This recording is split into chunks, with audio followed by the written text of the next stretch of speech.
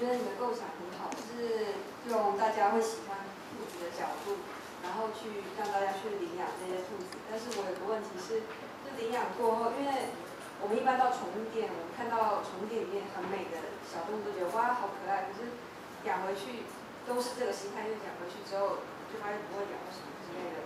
那因为我看你的相片也是美美的这样子，那对于养回去之后的处理，你是有没有后续的？该怎么教他们不要再丢掉？不然我怕还是一种喜欢的心态，喜欢完之后却又是又是一个悲伤的，又丢掉了这样子。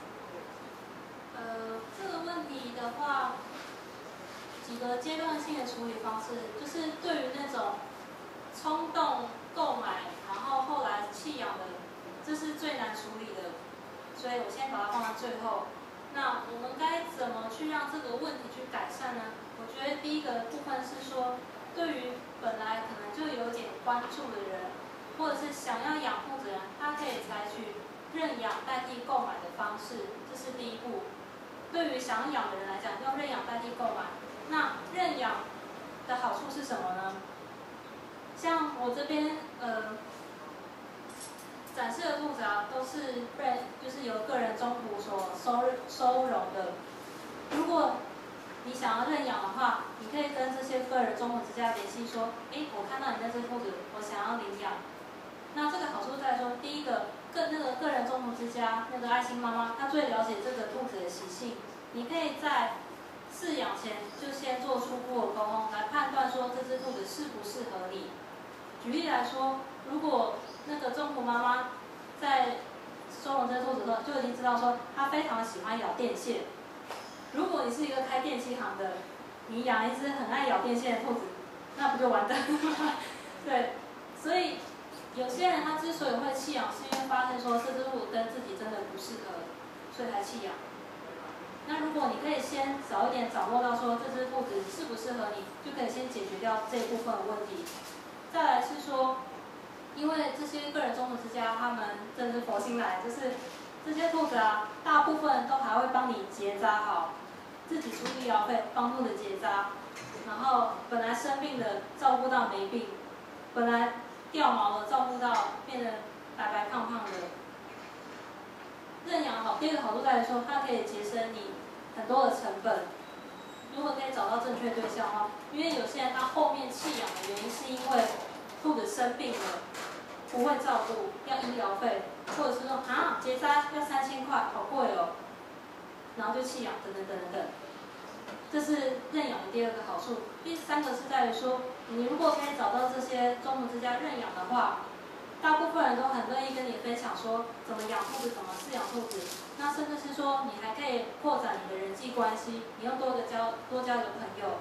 在你遇到饲养上面的问题跟困难的时候，有人可以跟你一起分享，跟你一起讨论，跟你一起聊说聊所谓的兔子精，我们家的兔子昨天又怎么样，然后今天兔子又做的怎么样，就是像小就是爸爸妈妈分享那个小孩经的那种感觉。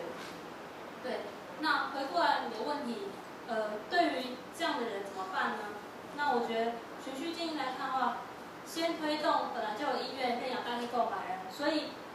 对这个议题关注的人群就会变多，由人去影响人，去压制到说那些本来要弃养的人，这个是一个很漫长的过程，我们没有办法一步到位说解决这些问题。但是针对这个问题来讲的话，我认为现在要做必须是呃更友善、更齐全的养护的知识或者是平台，或者是说。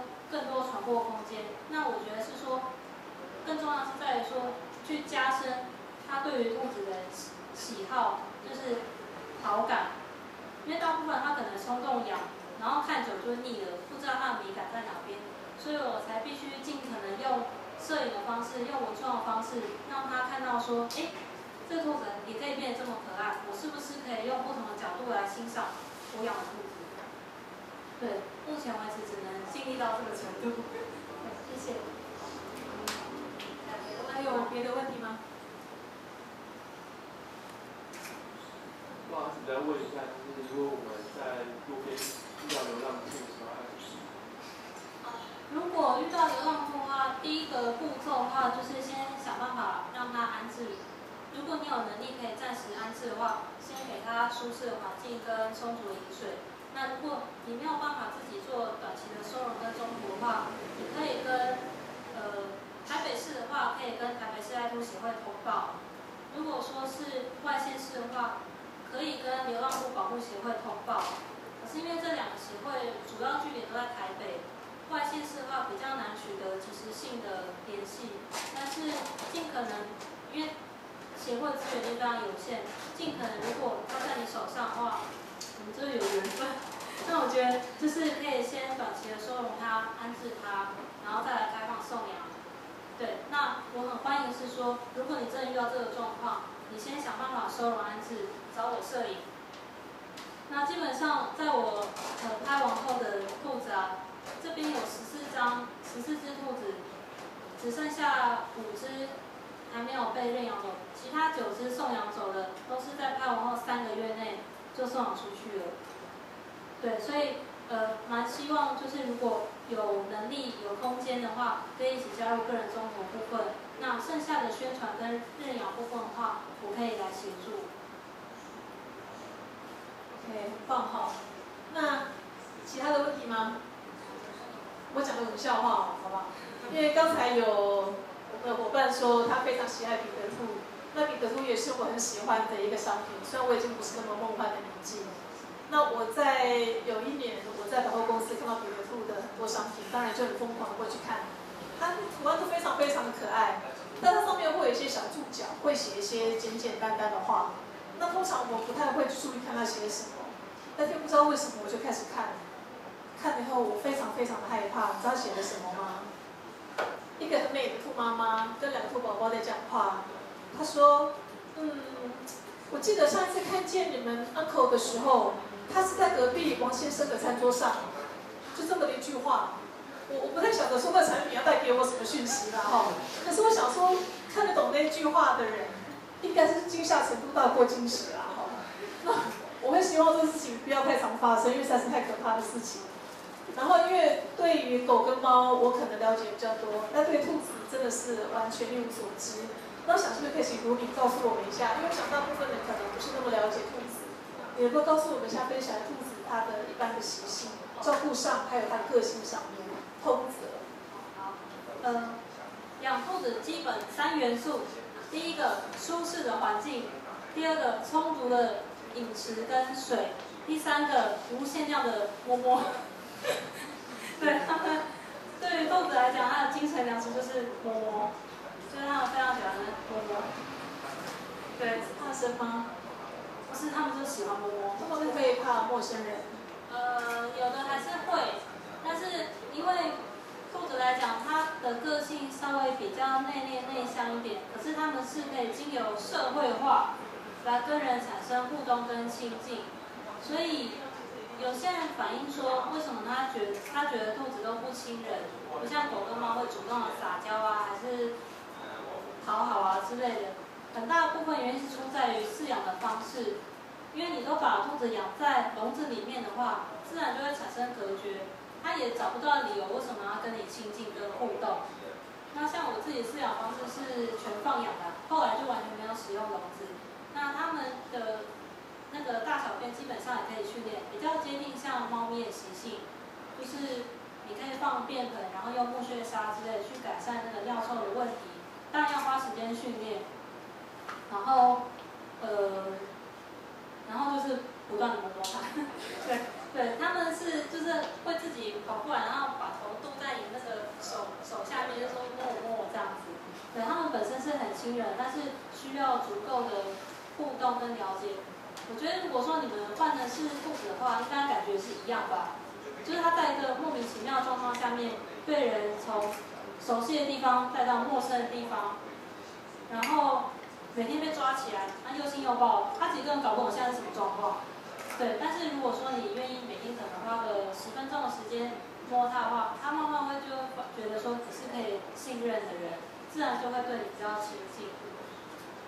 然后养兔子还有个好处就是，呃，因为他们的习性啊是白天算是休息时间，那我们大部分人都是白天在上班上课，所以等你下班下放放学之后，我回去他们也睡饱了，然后就可以玩了。对，而且再来是说，兔子的话，他们呃要消耗的成本也不算大宗，也蛮适合现代人房子小，就是房子那么贵，就房子很小，那他们有足够的空间就可以自己活动跟就跑来跑去的。你不一定要特别把它带去遛，也不用帮它洗澡，不用非必要不用帮它洗澡，因为它本身就很爱干净。大概是这样。然后兔子的主食绝对不是吃红萝卜。兔子会跟你说话吗？像猫狗一样？呃，它它们平常不太会，它们不太会用声音的表达，可是它们会用舔人的方式，或者是说自己主动靠近你，贴在你的腿旁边、手旁边，用头来顶起你的手，叫你摸它。它们会有这样的肢体语言。对，那基本上就是不会说话的猫，这样子。因为猫也是这些动作。嗯，可以这么说。OK OK，那了解。某方面来讲是这样子。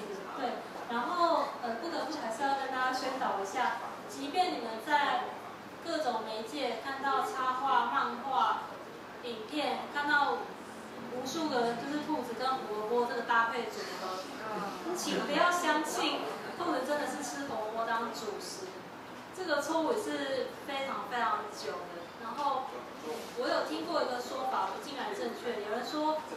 当初为什么要把那个兔子跟胡萝卜泡在一起？是因为美国那个那个那个卡通有一个会站起来的灰色兔子，它不常常啃到胡萝卜吗？哎，有人说是为了要推广小朋友多吃蔬菜，所以就把那个兔子跟红萝卜结合在一起，说哎，宝宝都吃红萝卜，所以你们要多吃蔬菜，就像那个大水不怕吃蔬菜一样。对，但是他们本身的那个肠胃系统啊，呃，主要是消化纤维用的。那红萝卜它是比较偏向淀粉类，而且是维生素 A 成分比较高。那如果饮用过的话，会导致中毒的风险。那我们常常因为自以为兔子要吃红萝卜，一个人告诉一个人，导致这个错误一直不断延续下去。所以我们可能常常都会不知道说自己在间接伤害这个生命，也说不定。所以即便你们没有那么喜欢兔子，即便你们没有养兔子，但是 common sense。就是记起来就 OK 了。哦，没看过兔，没吃过兔子，至少看过兔子；没养过兔子，至少至少知道兔子不是吃红萝卜当主食。谢谢大家。OK，我们的新朋友对不对？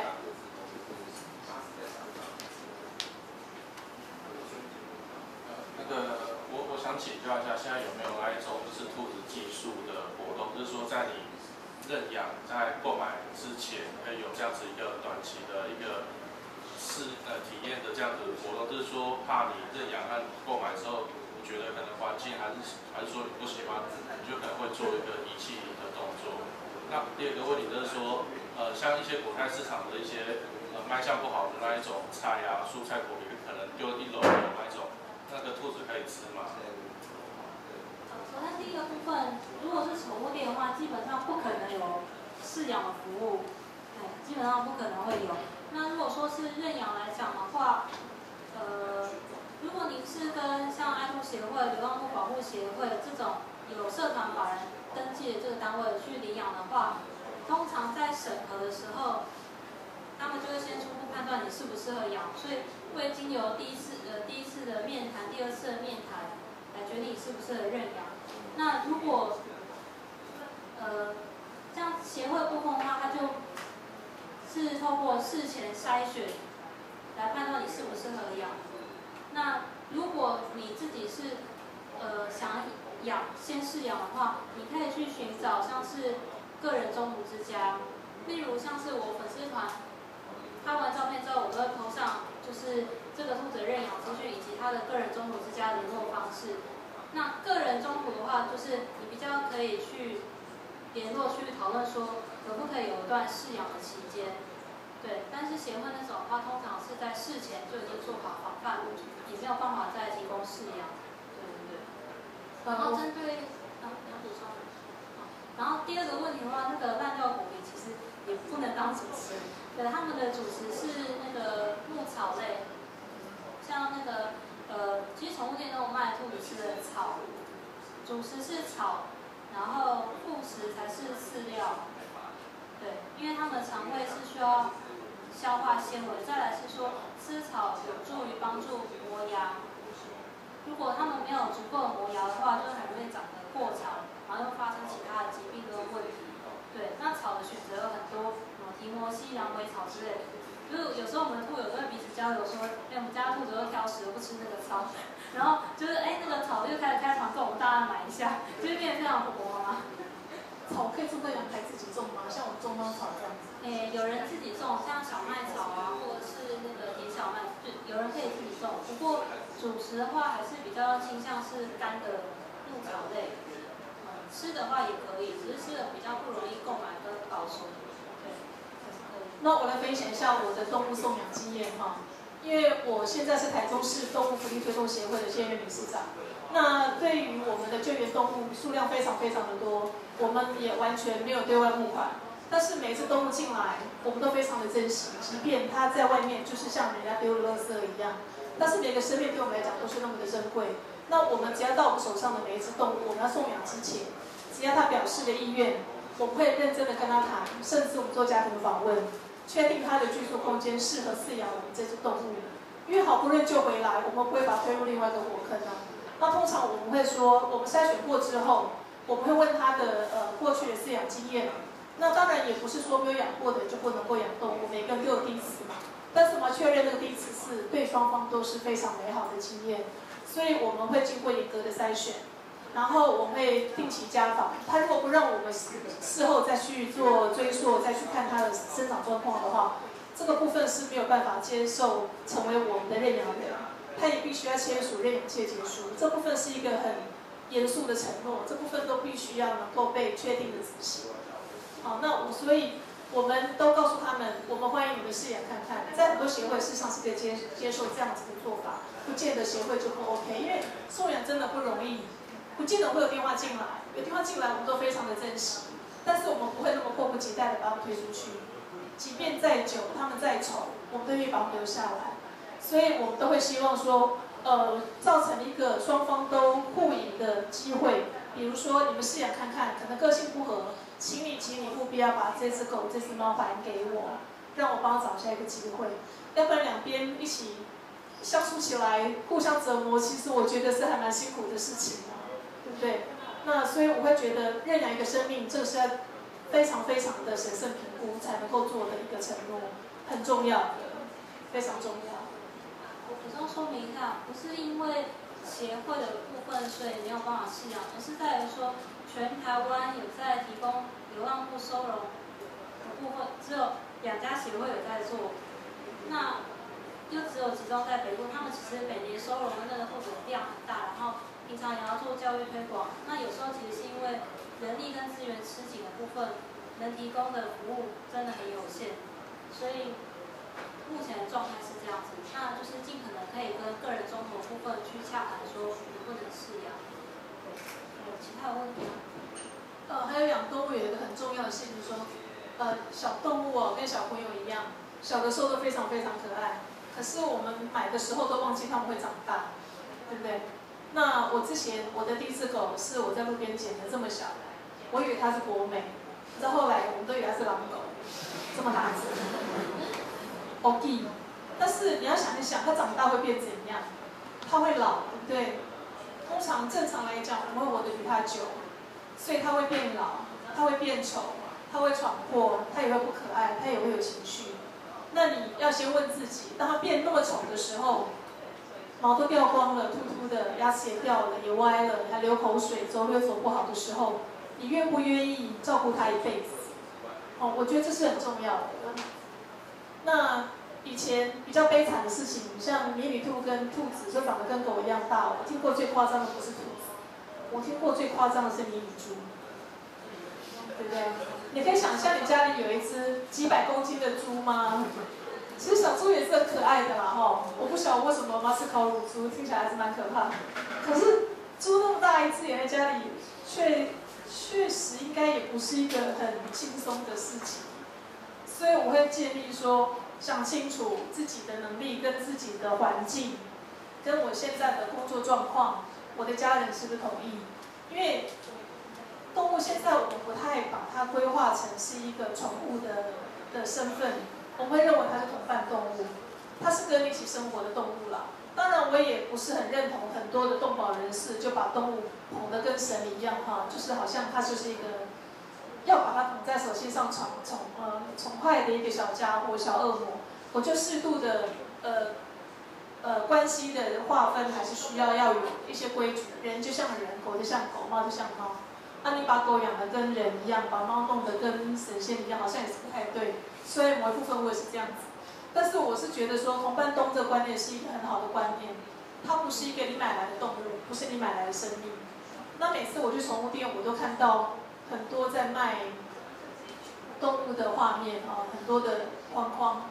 那每一只狗、每一只猫上面都标了一个数字。那数字其实每次看了让我都很悲伤哈。宠物店里面的狗为什么都不太会叫，都好乖，在笼子里面都不太叫，对不对？因为不能吃太饱啊，吃太饱会长太快，长太快就不可爱。那很多时候里面的饮水是空的，为什么？因为怎么样？要是大便，要新的麻烦。所以为什么宠物店里面狗看起来好像都很乖巧？人生病里面乖巧，对不对？所以我会觉得说很多很真，你看到的东西往往不代表它真实的样子。那很多年前，我讲的好像比猪讲的还多。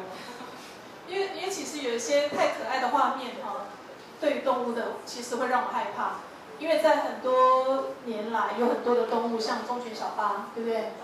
还有 a b e l o w 那个叫什么？极地长征，这些都是讲到一些动物可爱的跟人的灵血来袭嘛，那比较久以前的。哦，对，可鲁，让人家很心碎，所以这些事情其实都会带动一阵子的动物饲养风潮。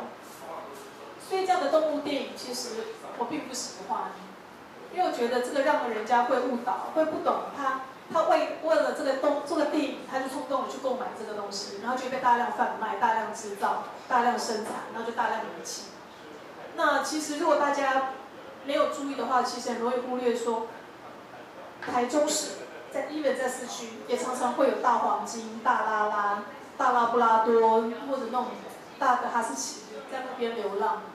可是对于不喜欢动物的人来讲，那是多大的威胁，对不对？他当然，像我做动保，我看到每一只狗，我就想去摸一下。可对于那些害怕动物的人，他们有没有自己可以要求的、诉求的？我的生存权，我不要动物来侵犯我，对？他们应该也要被被尊重嘛。好，那我觉得这两边都要被考虑的事情。我曾经带着我的那只小博美去散步的时候，那时候我的博美就长得有点大了。大概十五公斤，那加上他的他是穿长，呃穿毛大衣的，他头发很长，所以看起来更大。就是逛逛逛，然后就看见小哈士奇跟他的妈妈来散步，就是小孩就说：“哎呦，好可怕，有狮子。”结果那个妈妈说：“真可怕，那只狗好大，我走远一点。”这句话让我很害怕，我就问他说：“你晓不晓得你家的小狗长大会多大？”他哈士奇那时候就这么小。让我想到，就很多人带着成年兔子去外面的时候，人家看到兔子，反正这是狗哎。对啊，所以我在想狗是师傅。然后我就替他们家那是哈士奇，其实非常的担忧，因为他哈士奇长大会比我狗大大概一点五倍以上，甚至两倍以上。其实这是很可怕的事情。问题，快点。我太凶了吗？OK，可以了。我刚刚有专心听你演讲，对，然后你提到说你你最最好的奖品是你知道不知道对吧？就是拍拍照，还是是吗？这什么奖品？哦，对对对，那个是比较特别一点的。对，因为我有个问题是，你知道猫村吗？不知道对，有个猫夫人的议题，然后他们认为就是就是很多有猫聚集在那个。然后变成一个观光文化，然后有很多人有是这样意见，但我不知道是有大概了解这个事情，然后再联想到兔子的那个兔子岛，那我不知道你亲身到那边去，对这样子的生态，会不会觉得是一种消费兔子，或者是你认为他们当地有更好处理方式？不想问这个。呃，那个大久野岛啊，它本身一开始呃，它是早期是战争时间战争时期的时候拿做毒气工厂的地方，然后就有一些兔子去那边当实验兔这样子。但是后来因为有一场大火关系，其实那些原生兔子早就已经就是 over 了这样子。然后后来的确是因为观光因素，又再引进一些兔子进去。呃，对，它其实是那种观光行销的成分比较大一点，但是它那边除了整个岛啊，除了一家 hotel 以外，什么都没有了，就是它连猫狗的那个天敌也没有。然后据说，呃，也是有一群人在那边巡逻，说如果生病的兔子会拿医疗照顾这样。那基本上我在那边实际的体验是，呃，我看到大部分的兔子啊。它其实算是半野兔的感觉，他们可以自己存活，吃落叶、啃树皮，就是有点感觉还蛮新鲜。我没有看到兔子啃树皮，对。然后，但是因为有观光客去那边呃看兔子，然后也会喂饲料它们，它们对人也是亲近的。但我觉得那个是，我觉得这种程度。我不会特别针对说，因为它是观光而去批评的，去怎么样反对之类，只是在于说，它有没有拿捏好那个分寸跟尺寸。因为像猴头，它已经发展到说，对猫咪已经造成极大的干扰跟不适了，然后还有过多的观光的摊位或者是太多的东西。那那个兔子的话，都是基本上，除了那个 hotel 是比较现代的东西，其他几乎都是保留原始的风貌。对，然后这里的人也知道说如何守秩序，不会去带狗啊、猫啊之类的。然后大家都是很友善去互跟兔子互动，不会说去欺负它之类的。我觉得是如何拿捏那个分寸还蛮重要的。但回过台湾来看的话，同样是观光好，台湾其实有蛮多以兔子为主题的餐厅。例如说，在淡水附近的有一家，然后还有一些所谓的观光农场，他们就是饲养很多兔子来招揽生意。那那种做法的话，我基本上是不认同的，因为他们就是纯粹把兔子当做招揽生意的工具，而且也没有照顾他们的健康或者是安全，是任凭小孩子在那边抓兔子。踢兔子、玩兔子，没有人去制止或者是管理。那那那个大嘴野岛的话，是因为场地也够大，是一整个岛都是兔子，所以他们还可以自保防御，选择要不要跟人互动。可是，在台湾农场，它的空间很小，小小农场里面有几十只，可能会有百只的兔子，全部在密闭的空间里面。那因为空间已经够狭小，它们又是很容易繁殖的生物，又在短时间不断的繁殖、不断的扩增。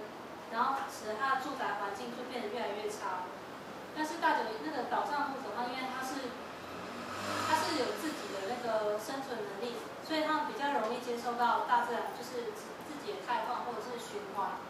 对，那台湾的农场这个做法的话，呃，已经比较走偏了，对，没有人在乎。那这点的话是我认为需要尽力去改善的。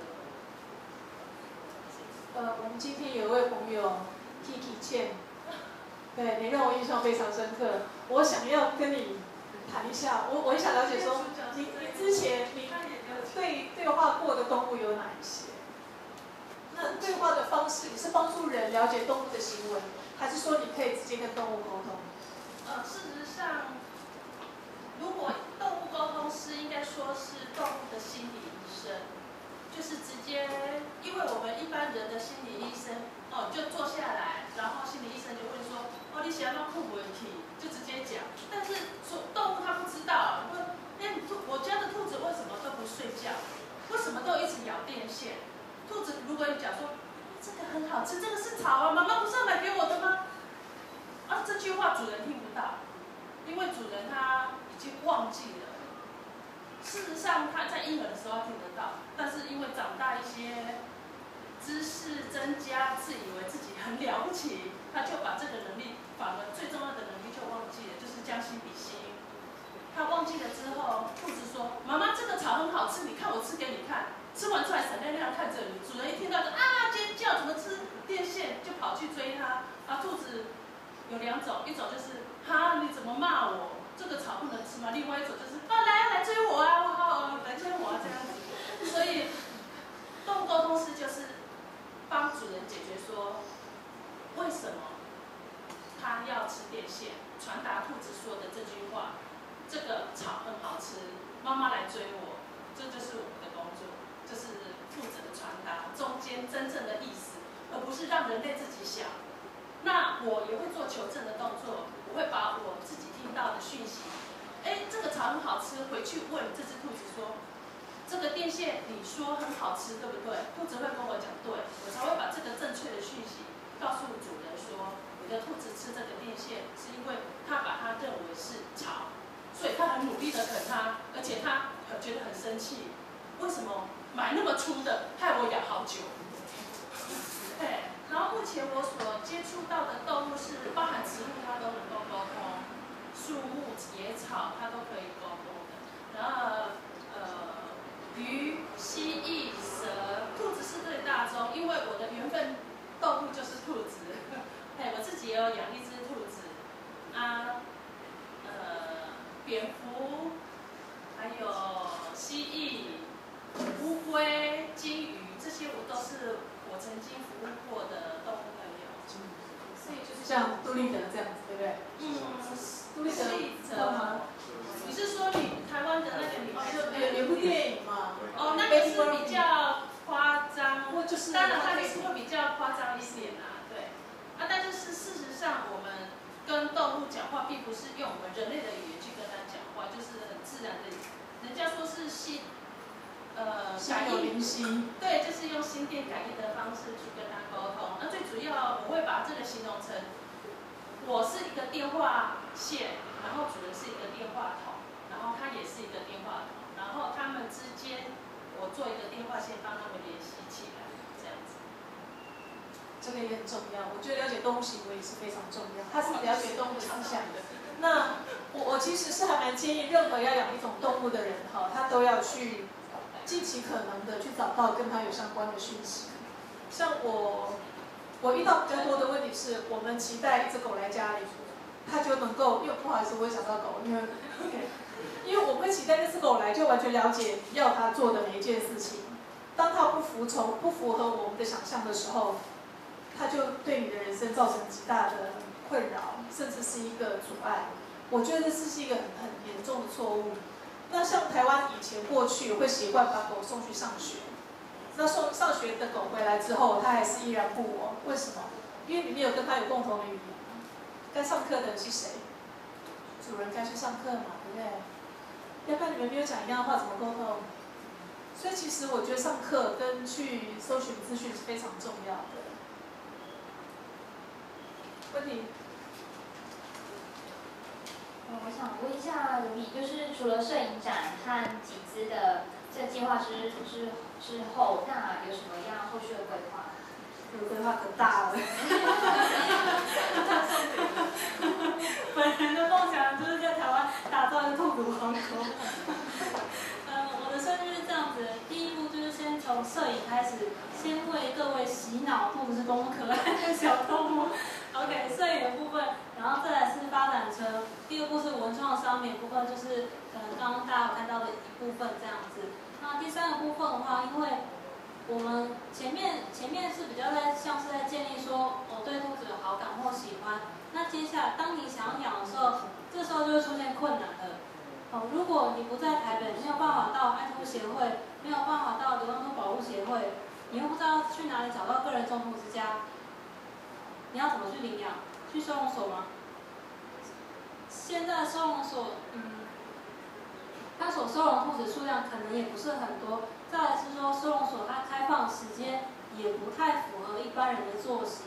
据我了解到的，像台中的那个收容所的话，它是呃开放时间一周，好像我记得是有休息两天，然后每一天开放时间六分，早上跟下午。中间中午还有休息下午开到四点钟而已，所以要去养的话，也有点不知道去哪里养。所以我接下来下一个规划就是希望可以打造一个兔子的友善空间，它是一个复合式的空间，可以贩售我自己设计的兔子的文创商品。再来是说，它有个更重要的意义在于说，是提供便利的送养跟认养、交流美合的空间。怎么讲？基本上，我认为其实每个人在自己的生涯规划，难免都会呃挣扎，或者是必须要做出决定。那有些人他是真的没有办法再饲养他的兔子，可是也没有好的送养管道，除了求助身边亲朋好友之外，没有办法。再没有办法的话，可能就是弃养这样子。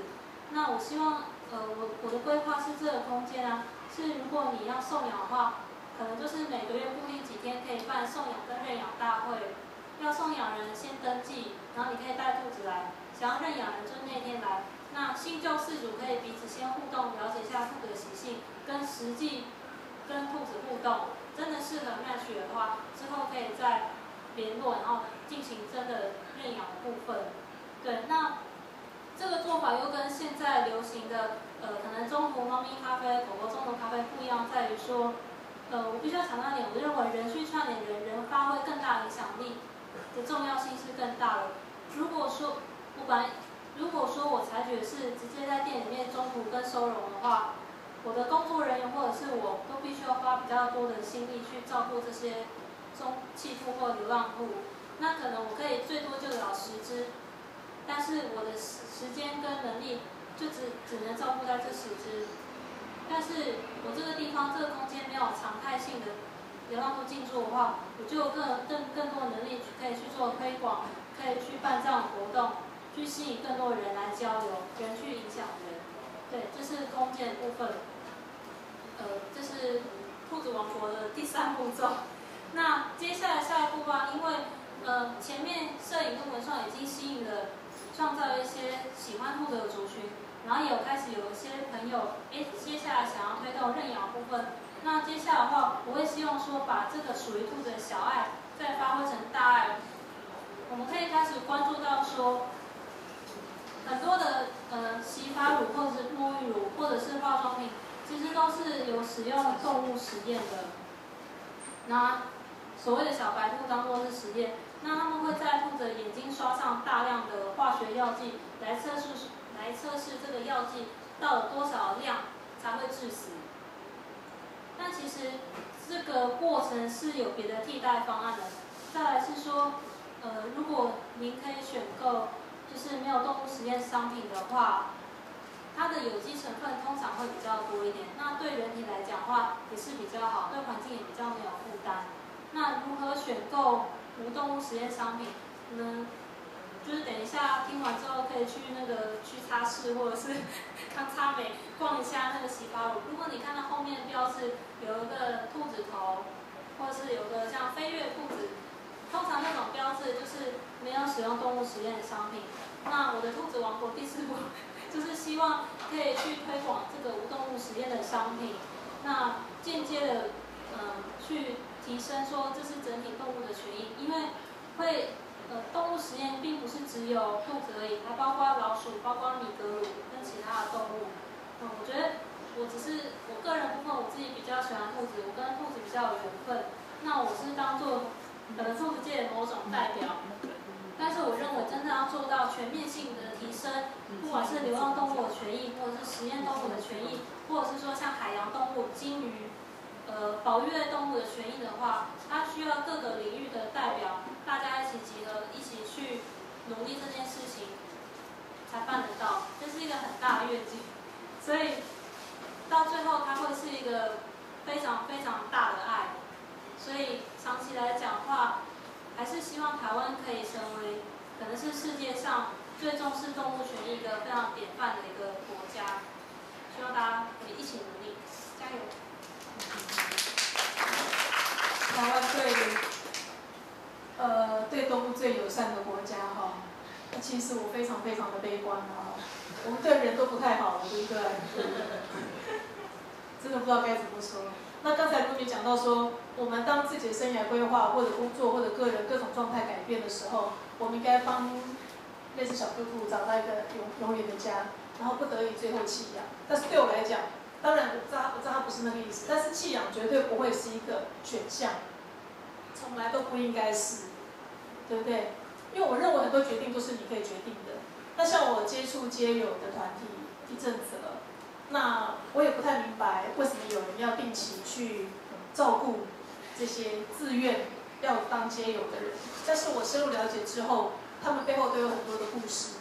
他们照顾街友是为了让街友不要再造成别人家的困扰，变成是这样子。那我就在想，那流浪动物呢？它流浪是为了什么？那那些流浪汉的流浪原因是什么？流浪的原因有一大部分其实是决定在他自己，可能他过去怎么样，等等等等等，导致现在这样的结果。哦，相当成分是决定在自己手上。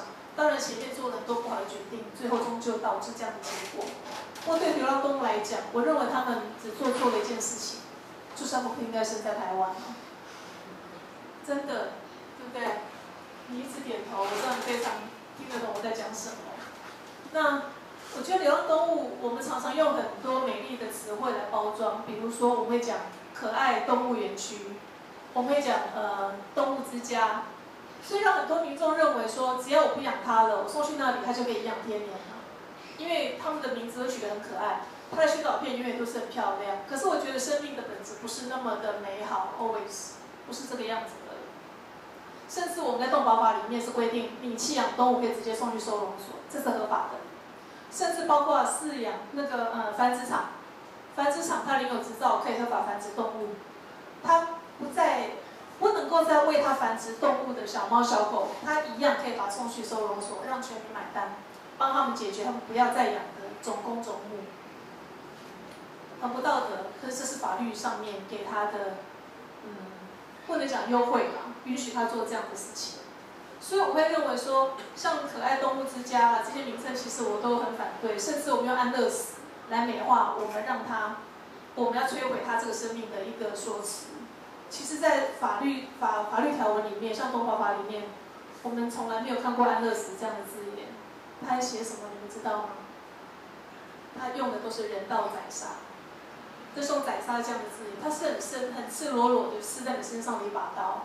可他们不愿意讲人道宰杀，他们想安乐死。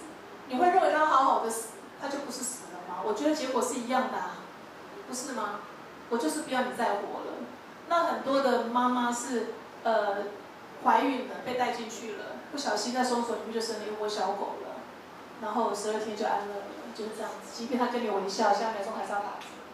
所以我会觉得生命其实是残酷的啦。那我们要。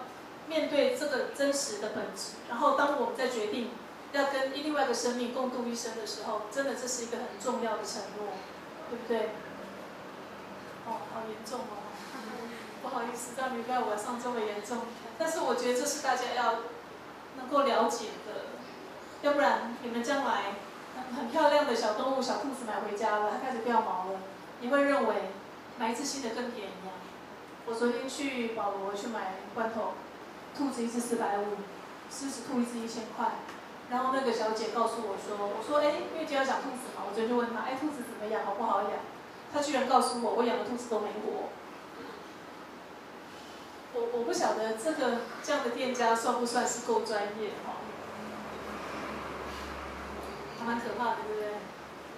我应该是像个巫婆来吓你，那个呃，为什么我的角度比较不一样？就是对我来讲，刚刚录的就是比较散播爱、散播开 快的这种感觉。那如何避免冲动消费、冲动购物、冲动饲养动物呃兔子的话呢？呃，我认为还是大家可以花点时间实际体验看看、互动看看，真的是适合的话，再三思、再思考、再决定啊。那这边还是要工商服务介绍一下，就是在礼拜这个礼拜天开始，连续三个礼拜天。我这里的摄影展场部分有加开所谓的兔兔体验活动哦，就是这边现场会用很大的围片，就是围起来，然后我绕了很多的那个兔友出借一下他们家的孩子。那如果礼拜天下午两点到五点这段时间有空的话，大家可以来跟兔子实际互动，摸摸兔子，就是体会一下那种疗愈人心的那种温暖的感受，真的是太赞了。对，欢迎躺在那边，然后。对，我们可以把饲料撒在你身上，让兔子尽情践踏你。没有体会过人不知道那种幸福的感觉是什么。对，一定要来体会一下。对，晚上睡觉会睡不着。对，那。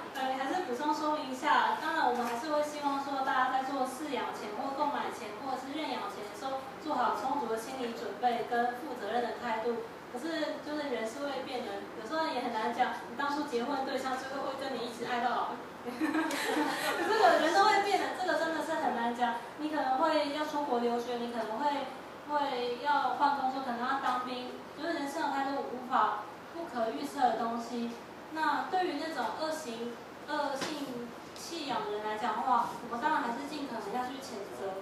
可是并不是说弃养就是一个选择，只是说。可能有些人他真的是遇上了困难，真的没有办法养了，求助我们。我们尽可能对于这样的人给予适当的帮助跟辅导，或者是说，对我觉得，呃，谴责的话，只要谴责那个恶劣到不行的人就好。其他人的话，我们还是尽量多一点的包容跟协助。那只是很不巧，目前台湾真的没有太多的资源，所以，呃，本人还在努力当中，希望可以获得大家的支持。谢谢大家。我我另外再补充一点哈，因为像送养动物是非常的困难，那但是对于那种虎妈妈来讲，我相信他们都很希望帮手上的小朋友找到一个温暖的家。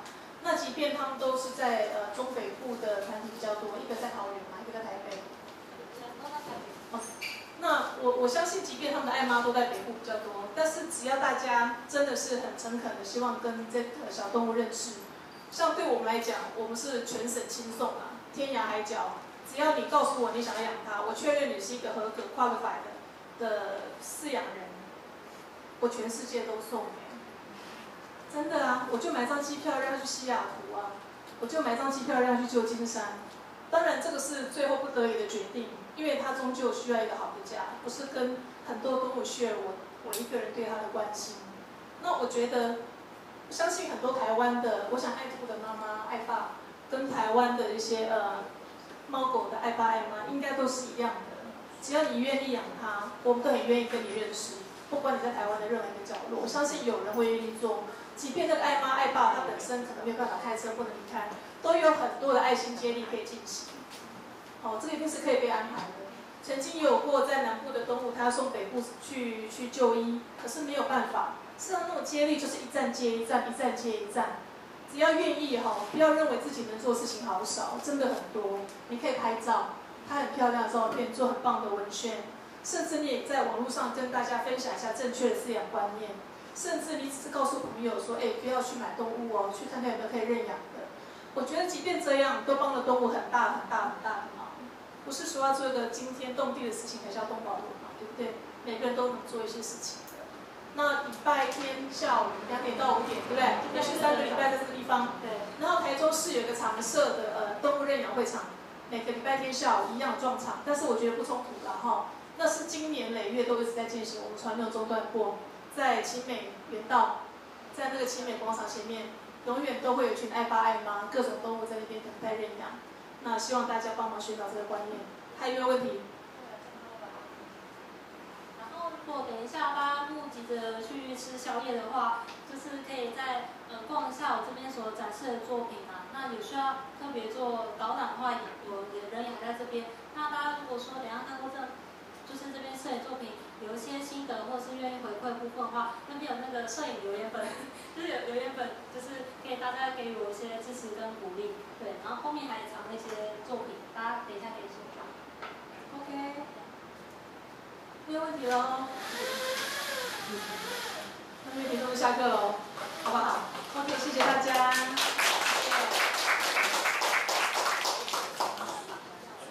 OK OK，呃，对不起，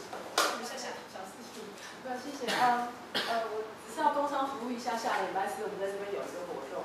呃，大家好，我是民党妇女部主任林清溪。那呃，我们今年是就是说，在今年年底之前，我们会有目前的预计是办五场，我们叫做女青年论坛。那比较漂亮的名称叫女青年沙龙。那台北已经完成一场，那呃，我们这个礼拜天会在花莲有一场，未来会在澎湖开南。那台中的场呢，我们很高兴邀请家园跟这个呃佩奇，对，那也就在好办，因为其实为什么我们会跟家园佩奇选在好办？下个礼拜四就在这个场，那呃六点四十。那为什么选择这个位置？为什么办这样活动？是因为我们一直很想要接触的是，我们想要，我们想要讨论年轻女性她在她的生命，在她的呃生命规划里面，他的自我实现，然后他对于他的事业还有他的生命计划，因为通常在这个我们把它设定在大概四十岁以下的年轻女生。因为这个年龄层，我们欢迎所有有善愿意参加的伙伴。这个年龄层我也受到了一点压力。对，那呃，我们的这个想法是因为，通常在这个年龄层可能会遇到一些他正想创业，哦，就像现在的讲者一样，他正想创业，有些梦想，需要一些大家的意见或支持，或者他其实想要努力，可是他又觉得好像这个世界上，这个台湾的主主流媒体或主流讯息里面，好像跟他的想象不太一样，他需要一些呃。其他的人给他一点信心、跟支持、跟支援的哈，那所以呃呃，今天就是谢谢大家给我工商服务一下。下个礼拜四我会在这个地方，呃，六点四十的这个地方，欢迎大家。呃，虽然我们都有女青厮杀了，不过呃，如果男生想要参加的话，那我们就非常欢迎友善的男生，然后带着你的女生朋友一起来参加。谢谢大家，谢谢。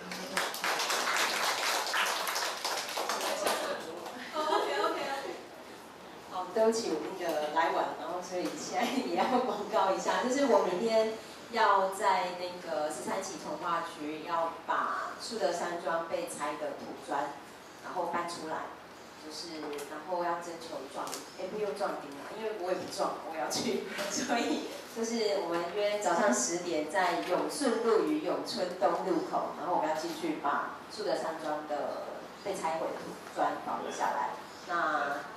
就是以后可能把它造谣啊，或者是造成其他的东西，就是重生，或者你想把它搬回家放在你家供着，应该也可以，就是因为它就是被拆在那里嘛。我你想拿来干嘛都可以，这样对，就是明天十点的时间。啊，然后另外呢，有一个工商服务就是，呃，那个。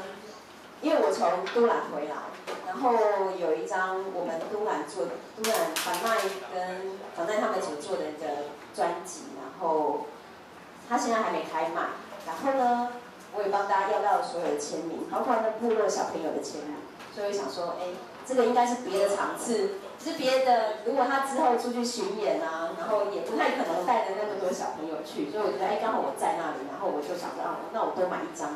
然后影响台中的好朋友们这样，所以如果想要的话，就是对义卖，对，但是三百五起跳，就是我的本钱嘛，三百五，对，三百五起跳，然后多出来义卖的钱，我们就是捐给那个哲学星期五这样子。啊，已经有人喊签了，太快，太快了吧？对，这是有房奈的签名啊，保布的签名啊，就是还有一些呃，我们部落小朋友的签名，那个部落。有作词的人，其实我本来要连美术设计的也签名要到，但是如果你真的很想要，我可以再回去要。对，可是你应该很难要到一个唱片连美术设计都有，因为都在我们部落里面。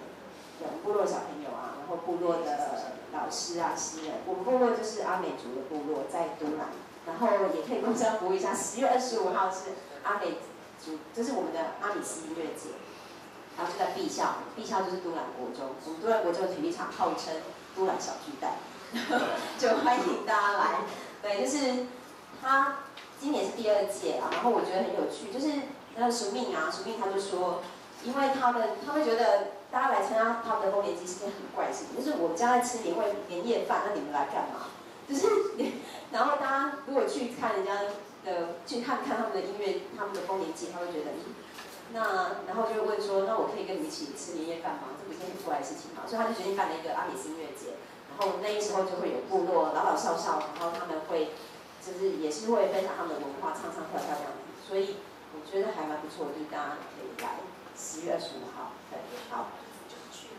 他好像会事先会办售票卖票，然后来的话，呃，从现在现在现在八月底了嘛。九月、十月，好，你就两个月混熟那里，然后只要说你是泽武来的，我就我就尽可能提供我可以给的服务，例如到我的宿舍洗澡之类的。万一万一外面没有办法洗澡，因为如果很多人啊，然后不容易订到民宿什么，我尽量提供我的服务，就这样子。好，那唱片喊义卖，好，一千块还有人要喊。好。那没关系啊，请大家先下课好了，这样太拘束了。好，对。下周一号。好，各位，呃，各位，呃，就是下周的周五啊，我们要来讨论那个同志的议题。就是提到海伦他妈之前在公司有播映过人生，就是有部有部影片，就是海伦他妈的导演，对，然后是在讲就是呃女同志出柜，那妈妈妈妈需要知道哪些事情，然后面临哪些困境这样子，然后欢迎下礼拜五，呃，可以带着爸爸妈妈一起来了解一下，谢谢。OK，Happy weekend。